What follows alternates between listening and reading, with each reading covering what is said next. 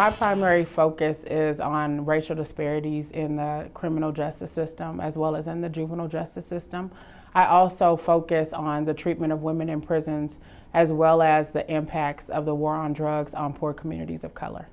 One way I would say that my scholarship affects my teaching has to do with uh, the depth of my knowledge um, in the subject area. And so, because I'm able to go deeper um, in terms of my scholarly research and the people that I interact with out in the community, politicians, lawmakers, community members, I'm able to bring uh, that sense of knowledge and expertise into the classroom, whether it be um, in sharing articles that I've written, blogs, PowerPoint presentations um, that I've presented in different places around the Twin Cities.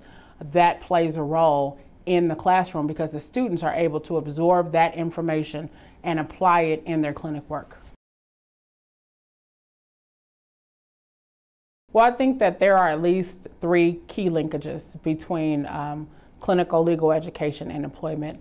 The first being um, the importance of effective writing skills. And so, one of the things that we teach in the clinic um, is um, students really expanding the scope of their writing. So, going from being able to write memos to briefs to letters to pieces of advocacy to a variety of different audiences. So that's extremely important. Uh, the second piece would be um, oral advocacy skills. And so students have a variety of opportunities to practice their oral advocacy, whether they're appearing before a judge um, or a legislative body, for example, or even conducting a meeting in the community. Those types of experiences help to expand the scope um, of a student's skills um, with regard to oral advocacy. And I would say um, the third important piece uh, that students focus on um, in clinical legal education has to do with learning to be strong advocates. I love the University of St. Thomas Law School.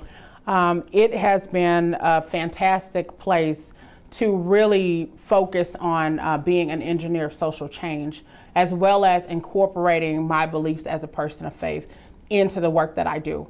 And to see all of these things come together in a classroom setting is really inspiring. And so our students come from a range of different backgrounds. You know, some are people of faith, some have no faith at all, some are struggling in terms of their faith identity, and that's okay. And so um, in a classroom setting, we talk about these things and we talk about what does it mean to be an effective lawyer? What does it mean to be a person of faith who is going into the practice of law? What are our duties, our responsibilities, and then how does that translate um, into the type of lawyer that we become? I think there are a variety of things that make our students distinctive. One, they're intellectually curious. And so many of our students, rather than just accepting the first answer, they will dig a little bit deeper to find out if there's more to a particular issue or a particular story than meets the eye. I really appreciate that about our students because I think it's going to um, ensure that they're successful in the practice of law. Um, the other thing that I would say um, that makes our students unique is the fact that they're comfortable usually talking about who they are as a person of faith and how that translates into who they'll become as an attorney in terms of um, identifying what are their values what drives them, what is the motivating force behind the work that they do, more so than just a paycheck. But are they focused on what benefits the common good? So I think these are the, ingredients that make for um, a successful attorney. And that's what our students are going to bring to the practice of law. I have so many rewarding moments. Um, it's, it's hard to, to pick one. Um, but I would say um, one of the most rewarding moments happened just this past spring um, when we successfully launched uh, Brotherhood Inc., which is a nonprofit organization focused on young African American males.